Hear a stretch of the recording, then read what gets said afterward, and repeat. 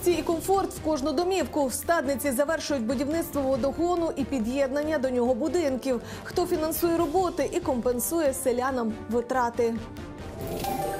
У посвідченні водія зазначатимуть тип автівки, на який він складав іспит. Чому в майбутньому сідати за кермо машини з механічною коробкою передач не дозволять тим, хто вчився на автоматичній, розкажемо. Викладають доріжки, реставрують альтанку та прокладають комунікації під майбутній фонтан, на якому етапі роботи в парку Хімік. У Вінниці відкрили перший в Україні пам'ятник Любомиру Гузару. Все про урочисту церемонію, враження і не лише вірян.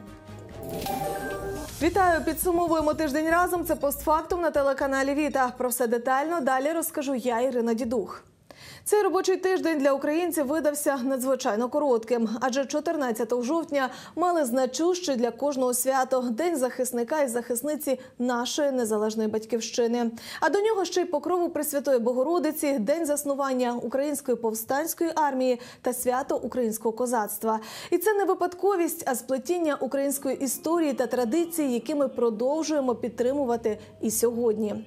Вінничани схилили голови перед подвигом полеглих патріотів. На площі Європейській зібрались керівники міста і області, військові та небайдужі городяни. Вони хвилиною мовчання вшанували загиблих. До підніжжя пам'ятників Небесній сотні героям АТО та меморіалу слави поклали живі квіти із вдячністю за подвиг і мирне небо.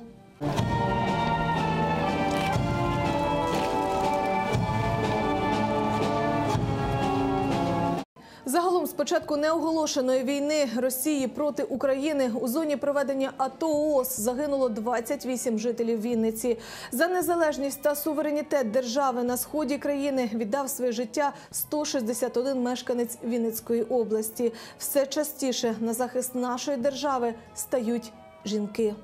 Насправді захисницю війську достатньо велика кількість. Кожен виконує свою роботу. І в цей день ми говоримо не про стать, а про те, щоб кожен з нас був на своєму місці і був професіоналом. Ми повинні дякувати тим людям, які стоять на сторожі е, кордонів нашої держави, які обороняють її. І це не повинно для цього не повинно бути окремого свята, можливо, але бачачи військову, повинні прикладати долоню, дякувати за його нелегку роботу.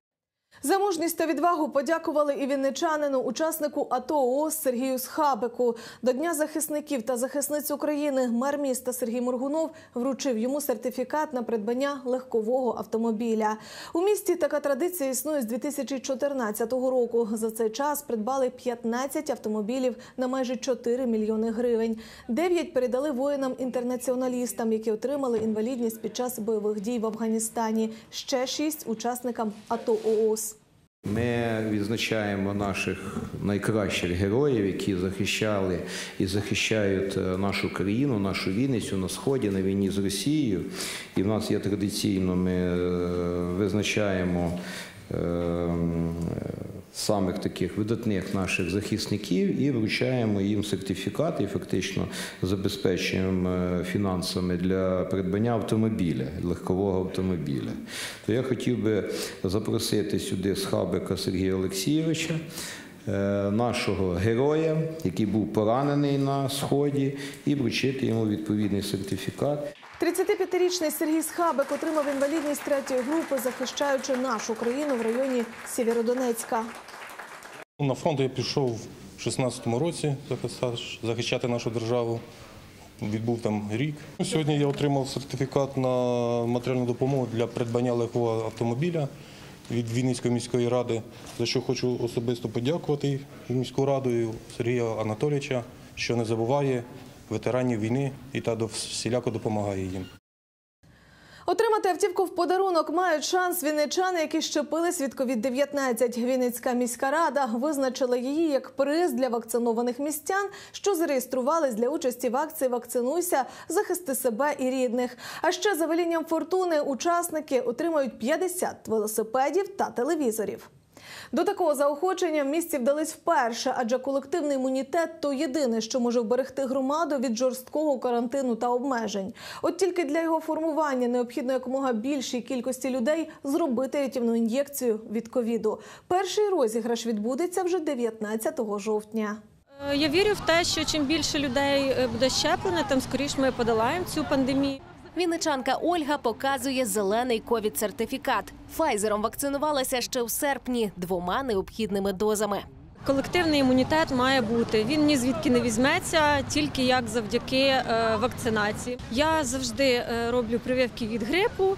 Е, ну, ніколи не хворію взимку нічим, окрім банального насмарку, і чудово себе почуваю. Так само і після цієї прививки. В принципі, зовсім не жалкую, і родичі мої привиті, і все чудово, не хворіємо. Перш за усе, щеплення від коронавірусу зробила, аби зберегти здоров'я, і лише згодом дізналась про конкурс від міськради Вакцинуйся, збережи життя. Довго не думала, зареєструвала і батька, і себе. каже, такі заохочення приємний бонус. Ідея взагалі прекрасна. Чудові подарунки. Ну це просто ні за що.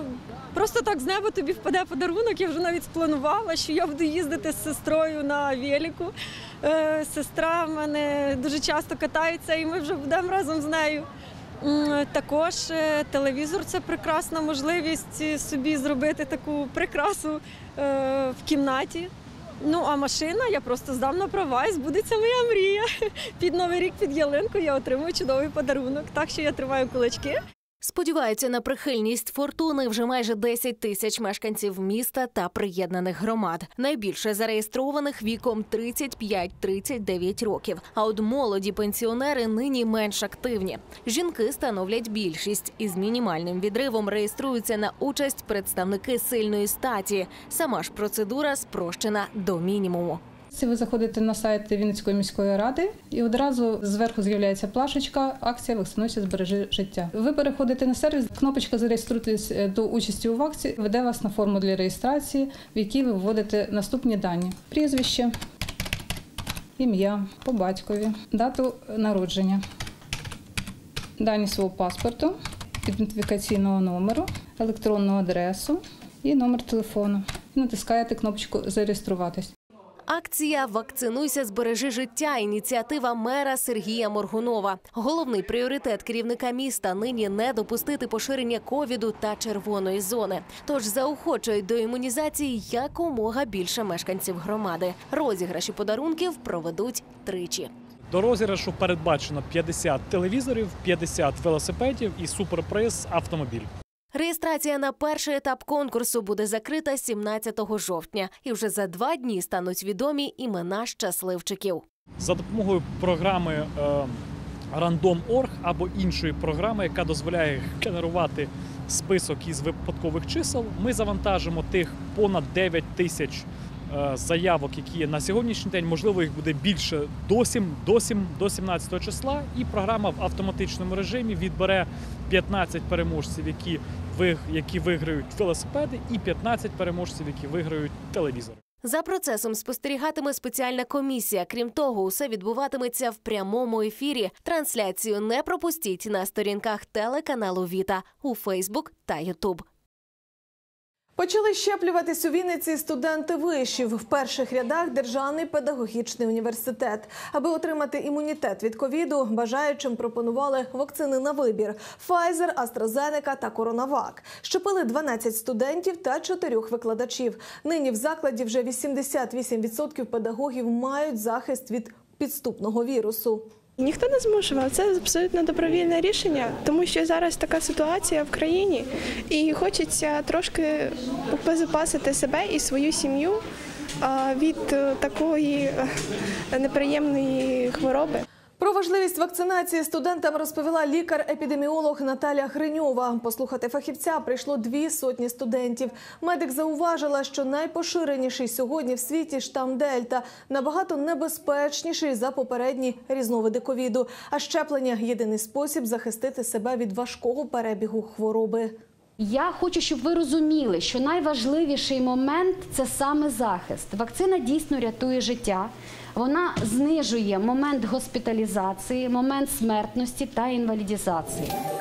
Від ідеї до реалізації у Вінниці триває реконструкція парку Хімік. Там вже завершують прокладати підземні комунікації, облаштовують пішохідні зони та бігову доріжку, реставрують альтанку та вхідну групу, формують майбутні зони відпочинку.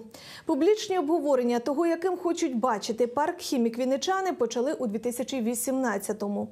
Далі за право переформатувати парк змагались архітектори з усієї України. Наразі ж громада вже за крок до завершення проекту. Маленький нед жваво перебирає лапками, гуляючи новозбудованою алейкою парку Хімік. Ще нещодавно на цьому місці було суцільне болото. Нині ж тут красується рівненька бруківка. Про таке переродження зони відпочинку місцеві мешканці мріяли не один рік.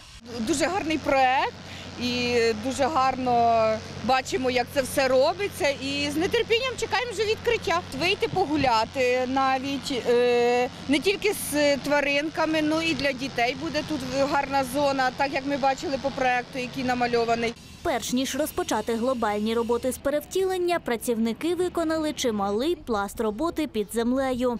Передбачено заміна комунікації, яка йде заміна теплотраси, заміна водопроводу е, по вулиці, е, комунікації, які будуть передбачені також тут. Це тобі ж е, розведення всіх кабелів, розведення підвод води, підвод каналізації. І ці всі роботи на сьогоднішній день у нас завершені. Ну не в повному обсязі, процентів 80 ми їх завершили. Підведення комунікацій важливий крок, адже тут заплановано не лише встановити громадську вбиральню, а й відновити старий фонтан у самому центрі парку, який тривалий час був закинутим. Першочергово був передбачений сухий фонтан, це тобі ж е, чисто камні мали бути і все. Е, В ході робіт він був перероблений уже на фонтан з водою. Ми проклали м, водопровод до нього вода, і всередині буде вода, по, по бокам будуть камні. Наразі реконструкція триває чи не в кожному куточку парку. Тут горнуть, бетонують, зварюють та ріжуть. Положили плиточку, зараз підрізаємо, стараємося, щоб все було рівнесенько. І надію, що буде все добре служити. Робимо якісно, стараємося. Лава добросусідства, на якій одночасно зможе сидіти сотня людей, місця для активного і пасивного відпочинку, дитячі острівці, сцена, майданчик для вигулу і тренування собак. Усе це передбачено проектом реконструкції парку. Ззаді в мене за плечима одна локація. У нас тут будуть і тенісні столи, які ну які можуть бути на дворі, да, знаходитись постійно. Е, оцю там буде бігова дорожка, яка зараз буде асфальтуватися. Там буде бігова дорожка. Та зона е, теж вона асфальтується, буде покриватися. Е, та зона буде покриватися гумою. Окрім того, парк освічуватиме більш ніж півсотні світлодіодних ламп. Частину з них уже встановили, а затишку додаватиме щедре озеленення. Будуть насаджені квіти, дерева, алеї дерев будуть. Е, Також будуть по бокам у нас багато передбачено лавочок, урнів. Головне у перевтіленні хіміка збереження його ідентичності. Відтак, вхідну групу і ось цю альтанку, символ місцини, залишили у первісному вигляді. Однак укріпили та реставрували. Усі роботи виконують коштом громади. Попередньо е, зведений кошторисним розрахунком е, першочергово була сума около 30 мільйонів. Е, Проведена була тендерна документація. Підрядник е, запропонував зробити за кошти 20 мільйонів, виграв тендер і розпочав роботи в квітні цього року. Тож у результаті проведення тендеру громаді вдалося зекономити більш ніж 10 мільйонів гривень. Майже без води в домівках впродовж цього року із повністю сухими кранами влітку. Вже кілька років поспіль від проблем із постачанням води потерпають мешканці села Стадниця. Водонапірну вежу і центральний водогін для частини населеного пункту збудували ще в 2008 році. Але їхньої потужності для забезпечення життєдайною всіх мешканців не вистачає. Адже з двох пробурених свердловин до системи постачання підключили лише одну. Вирішуватись проблема почала після того, як стадниця стала частиною великої Вінницької громади. За розпорядженням міського голови Сергія Моргунова в Вінницькому бюджеті передбачили кошти на роботи не лише на проведення, а й на відшкодування витрат мешканців. Оксана Мельник живе у стадниці на вулиці Миру. Водогін тут проклали ще у 2008-му. Проте останні кілька років у жінки та її сусідів перебої із водопостачанням. А влітку взагалі крани пересихають на кілька тижнів, а то й більше. Виручає тільки сусідська криниця. Вони дякувати їм діляться, і ми всі у них беремо воду. Але вона, звичайно, це тільки ми беремо ну, питну воду, а для технічних потреб використовуємо всю, яку є, в тому числі і дощову, і ну, я- я- яка, яку можна зібрати. Без води влітку опиняється п'ять вулиць, які розташовані на околицях села. Люди змушені із каністрами їздити до колонок та колодязів на інший бік стадниці. Я мало того, що я платю за воду, то я ще, виходить, платю за електроенергію, бо я піднімаю собі до трьох атмосфер. Я не можу систему е, гарячої води включити, тому що немає давлення. Я не можу нормально в душ сходити, тому що отак є душ, піднімаєш вище, душа взагалі вже немає. 13 років тому у стадниці збудували водонапірну вежу та дві свердловини. Запустили лише одну, однак запасів води у ній не вистачає. Літній час поливається багато, огородів. Тиск пропадає. Верхня частина села без тиску ще. Вечірній час до півночі. Вода вниз, вся збігає вниз вода. Поки тиск вирівняється, ну, уровень цієї води, а тоді ж подяться там. Ти все, тут забирається великий забор води йде. Ну, а там не вистачає. Вирішуватись проблема почала після того, як стадниця стала частиною великої Вінницької громади. За розпорядженням міського голови Сергія Моргунова у Вінницькому бюджеті передбачили кошти на роботи, і вони закипіли.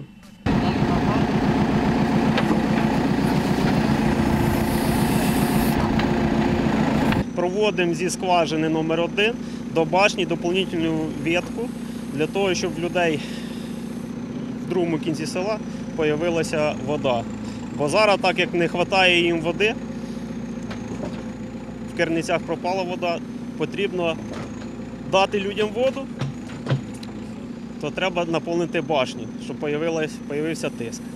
Загальна протяжність другої гілки водогону 2,5 кілометри. На його будівництво із бюджету Вінницької громади виділили 2 мільйони 600 тисяч гривень. За ці гроші планують збудувати ще й станцію з незалізнення.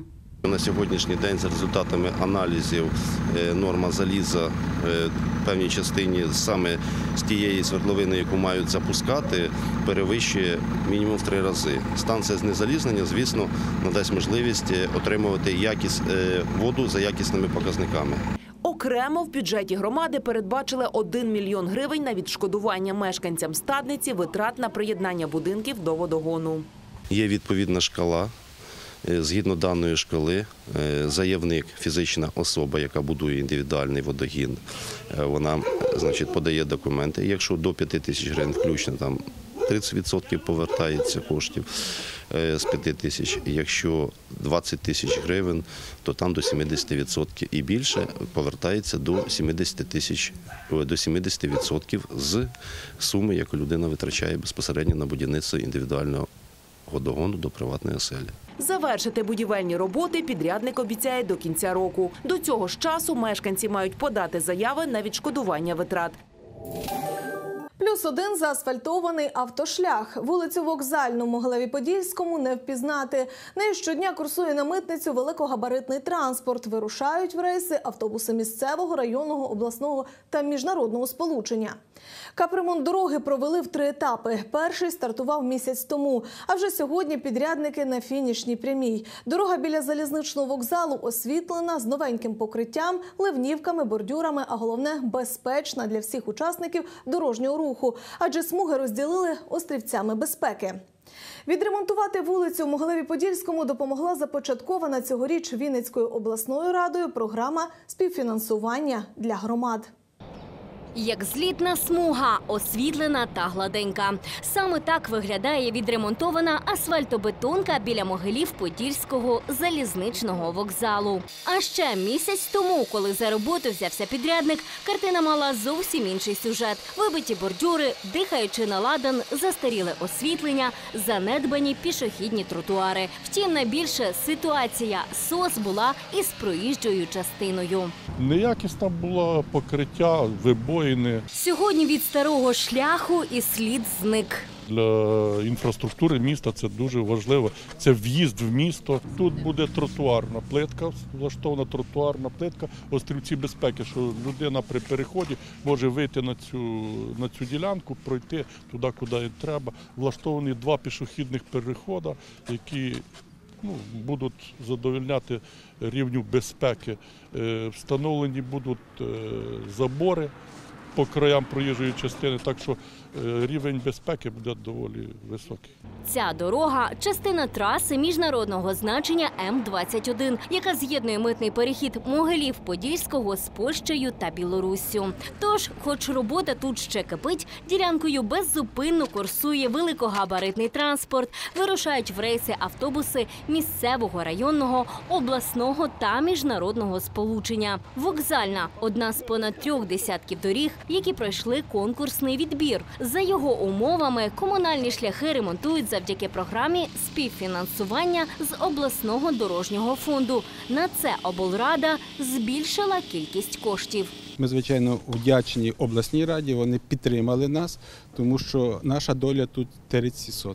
Тож, замість того, щоб докласти половину, як раніше, внесок громад зробили більш доступним. Цьогорічний підхід до е, умов участі у конкурсах на будівництво доріг місцевого значення саме в межах населених пунктів комунальних е, обласною радою змінений прав змінені правила, і це дозволило практично кожній громаді мати можливість е, не тільки бути учасником, але й переможцем, оскільки ми зменшили відсоток співфінансування. Яскравий приклад тут 10 мільйонів з державного бюджету. І на умовах співфінансування Могилів-Подільська міська рада профінансувала в межах 4 мільйонів гривень.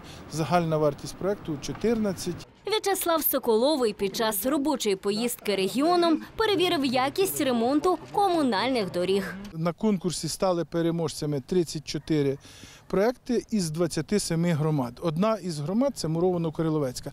Вартість проекту мільйон 100 тисяч гривень, в тому числі 160 тисяч гривень це співфінансування з місцевого бюджету, решта це бюджет області.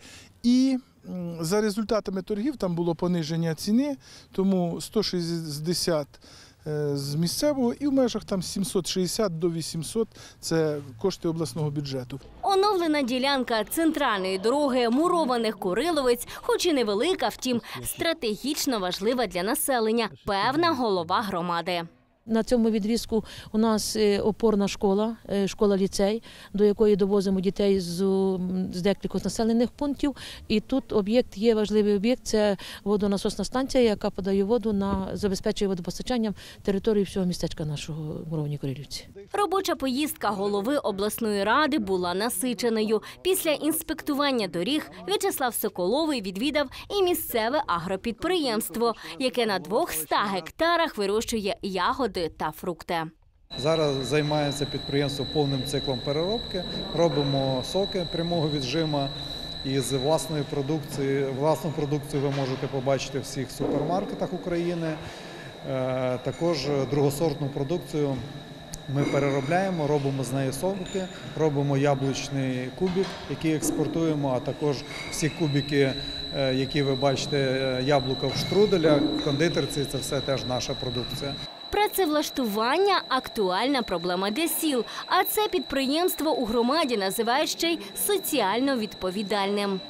Це дозволяє місцевому бюджету отримувати відрахування і наповнювати, наповнюючи бюджет, реалізовувати свої програми і проекти. А людям це дає можливість безпосередньо вдома мати можливість працювати і отримати заробітну плату.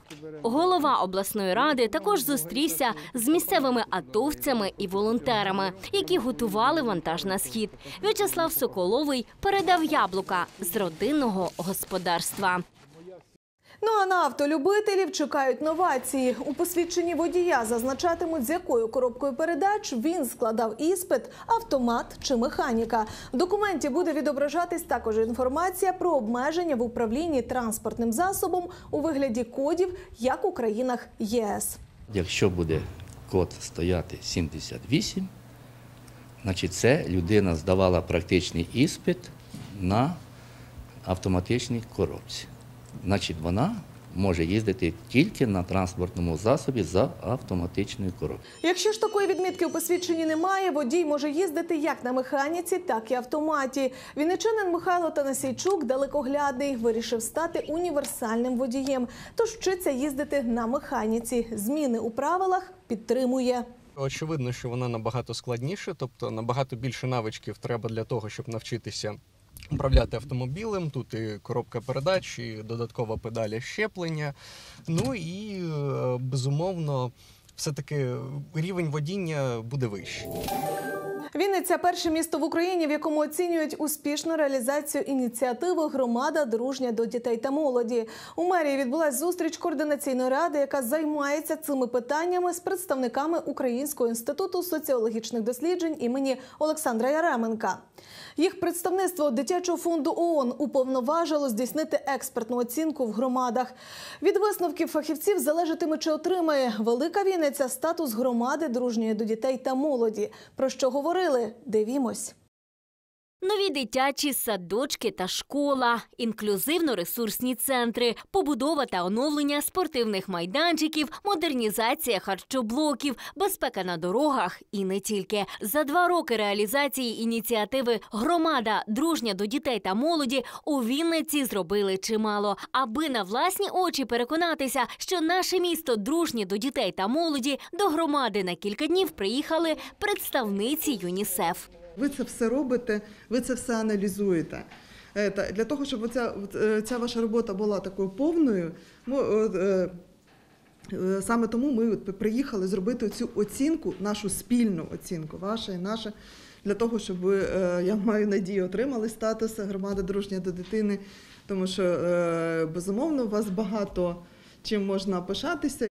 Міжнародної ініціативи Громада дружня до дітей та молоді Велика Вінниця приєдналась ще у 2018-му. У жовтні того ж року у міській раді підписали меморандум з представництвом дитячого фонду ООН в Україні. І чи не одразу місто отримало статус кандидата громади дружньої до дітей та молоді. Коли в людей горять очі і вони хочуть щось змінювати, то вони самі пропонують, вони самі е, е, це втілюють в життя, реалізують. Да, потрібна підтримка, і ми в цьому напрямку її надаємо. Там або фінансову, або десь організаційну, або е, це там просто такі якісь да, методологічну. Е, Або там творчу, якщо це потрібно. Три дні представниці дитячого фонду працюватимуть у різних напрямках. Це буде е, відвідування шкіл, е, садочка. Потім це буде робота з е, органами правоохоронними, е, буде зустріч з ювенальною превенцією, буде зустріч з патрульною поліцією, буде робота е, саме у службі у справах дітей, робота з дітьми, з дорадчою радою, з представниками лідера, робота з батьками, тобто робота у різних напрямках щодо об'єктивності підтвердження надання цього статусу.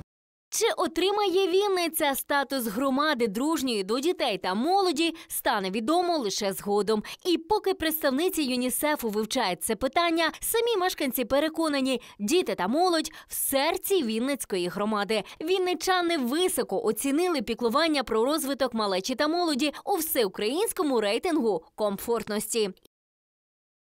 Мудрий, скромний, замислений та молитовний. Так описують вінничани враження від скульптури блаженнішого Любомира Гузара. Виготовлену з бронзи її встановили у Вінниці біля храму Покрови Пресвятої Богородиці, що поблизу центрального автовокзалу.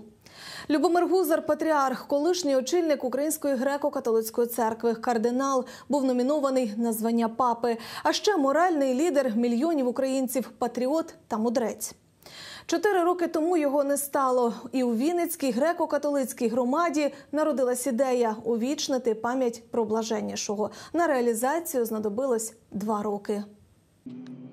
Мудрий, скромний, молитовний та далекоглядний. Таким пам'ятають українці блаженнішого Любомира Гузера, колишнього очільника греко-католицької церкви України, головною життєвою мрією якого було просте та водночас важке завдання бути людиною. Це не є людина, я є людина, я є щось великого, думаю, розумного, мудрого, вченого чи щось. Для мене людина може найближче слово до тої людяність. Народжений у Львові, Любомир Гузер виріс, вчився та працював у Сполучених Штатах Америки та Італії. А на батьківщину повернувся після проголошення незалежності України. Відроджував та розвивав церкву, був духовним наставником мільйонів, а ще став одним з перших моральних провідників Євромайдану. можемо подолати зло, коли чинимо добро.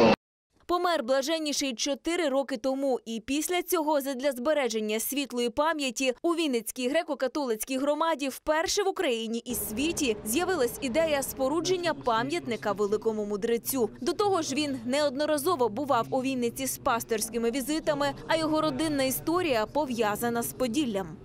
Батько оповідав, як він то під час війни зайшов аж до Жмеринки, де то він значить, там воював і так далі.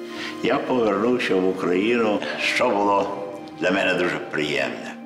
Ну, їдемо авто. І є напис, є стрілка Умань, Вінниця. Одним словом, ті е, міста, про які я чув, вони ставали дійсністю.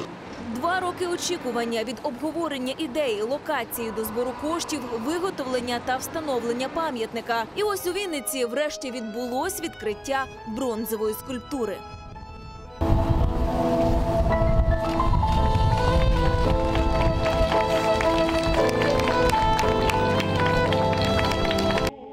Урочиста подія зібрала у Вінниці чимало духовенства. Приїхав і освятив скульптуру наступник Любомира Гузера, глава Української греко-католицької церкви Святослав Шевчук. Він зауважив, пам'ятник Любомиру Гузеру для людей буде дороговказом.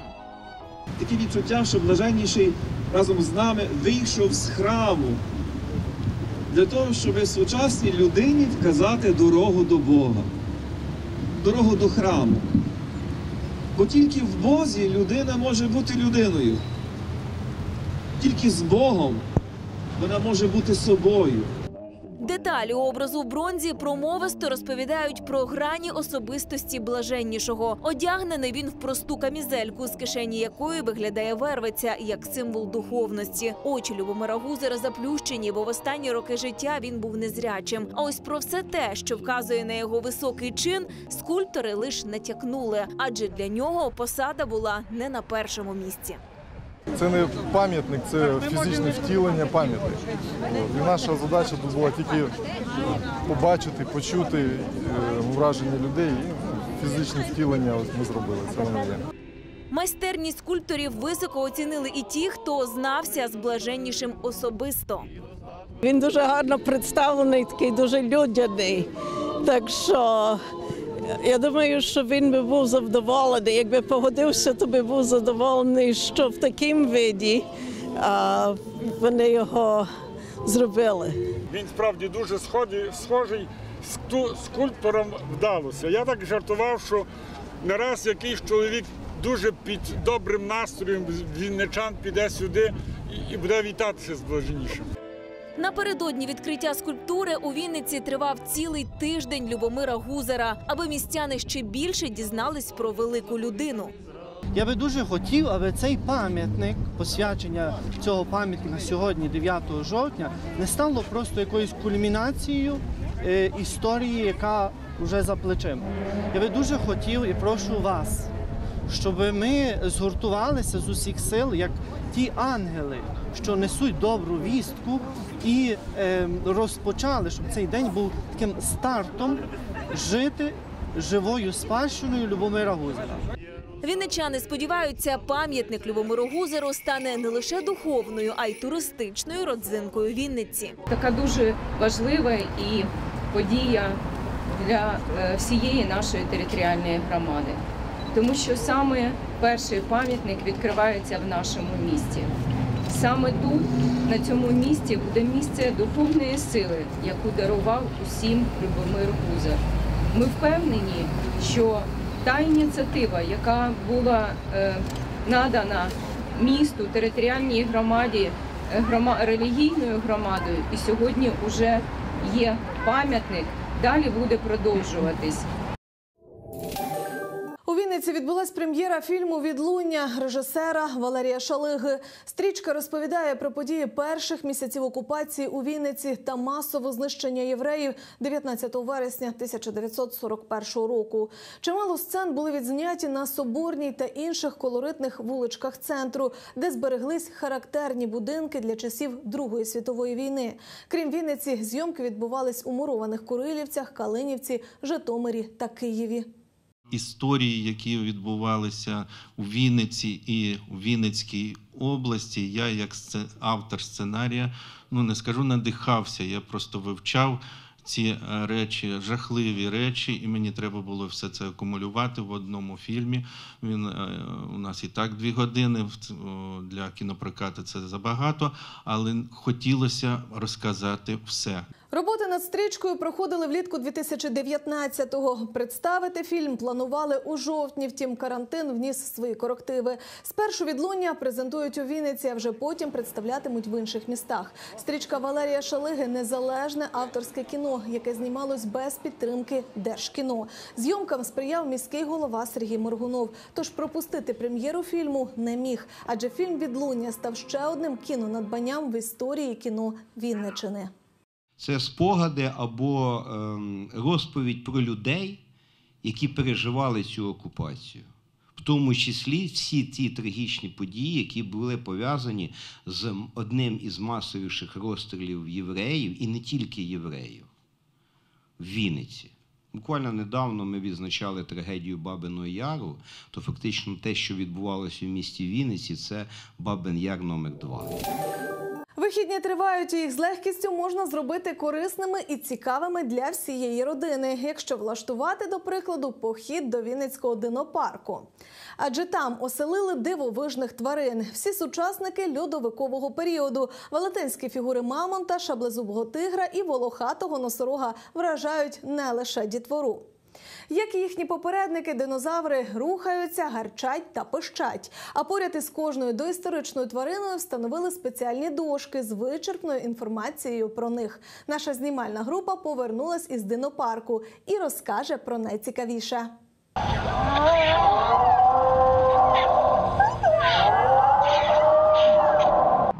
Вони рухаються, кліпають і навіть дихають. Від їхнього речання дух перехоплює. У Вінницькому динопарку оновили колекцію експонатів.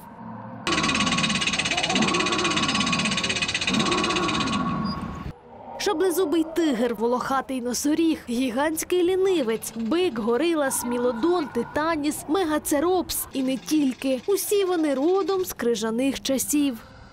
Серед нових експонатів з льодовикового періоду ось цей велетенський мамонт. Ви тільки уявіть, він жив мільйони років тому. Переважно його можна було знайти на всіх материках, крім Австралії та Антарктиди. Був більший ніж сучасні слони і важив понад 8 тонн. Відвідувачі динопарку із захопленням розглядають гостей з минулого. кажуть, виглядають дуже реалістично. Дуже цікаво і дуже. От е, я навіть не знав, що такий от собака існує. І навіть от горила. Враження перше, як то спочатку дивишся, як живе. Ну, то що розумієш, що воно іскусственно зроблене, але дуже гарно. Загалом у динопарку оселилося 25 експонатів. Директор Подільського зоопарку каже, хоч тварини їсти не просять, втім час від часу потребують водних процедур. Догляд за ними потрібно проводити постійно. Зараз ви бачите, заїхали скульптури, які мають на, е, які вкриті шерстним покривом. Їх треба періодично купати всякими е, шампунями, потім сушити і роз, роздувати на них е, шерстний покрив, щоб він такий був пушистий. З цікавістю знайомиться з жителями льодовикового періоду і ось ця сім'я з Одеси. Кажуть, такого в їхньому місті немає. Тож Вінницький динопарк був у переліку обов'язкових місць для відвідування. Запевняють, у цьому місці переносишся на мільйони років назад. Мы сегодня очень часто жалуемся на жизнь.